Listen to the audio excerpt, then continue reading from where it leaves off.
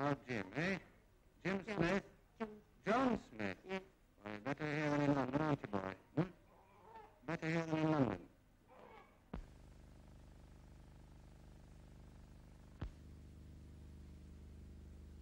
I have your picture, and I think you are a very brave